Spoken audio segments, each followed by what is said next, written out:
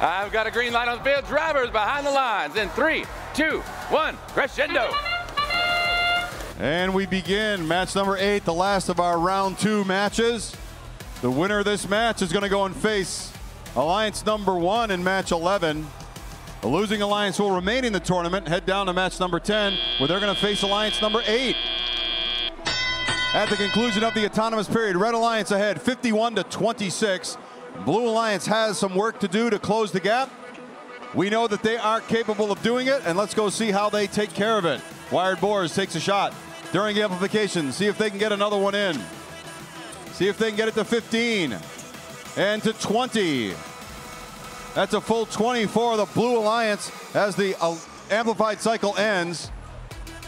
Still 25 points between Red and Blue Alliance. Red Alliance looking to start another cycle. Uh-oh, 353. Had two notes in, they shook that off, and they're ready to go. 353 looking to line up to put the note in the amp, and they do. 2075 trying to throw 4967's aim off, and it was effective. 4967's note heading out of the arena. Blue Alliance now 20 points down. One amplified cycle could close it up. 353 starting another amplified cycle for the Red Alliance.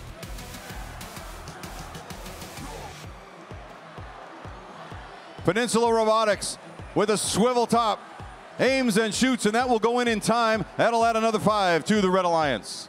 Blue Alliance with 93 points on the board, closing the gap getting ready to amplify. Wired Boars looking to pick up a note. They've got it. That'll be one in, but here comes 4967 to try and disrupt that one team, stealing a note from the Blue Alliance, taking it down to Red Alliance, where they will apply it to an amplified cycle. No, they're going to stay in the middle and try and slow down the Red Alliance, the Blue Alliance.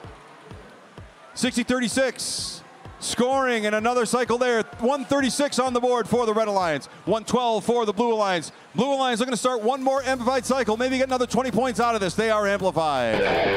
We're down to 20 seconds on the board. Time to think about what comes next. Almost a ringer for the Red Alliance. We'll see if they can get one of those high notes on the microphone. That will not be the case. Blue Alliance, no notes flying. We'll see about the high notes. Here they come thinking carefully about where the teams are. 2075 attempting to trap. Will not be successful. Red Alliance. And Red Alliance with 154 points. They're going to stay in the upper bracket. Move on to meet Alliance number one there. Alliance three with 132 is going to be heading down into the lower bracket. They're going to play in match 10 against Alliance number eight.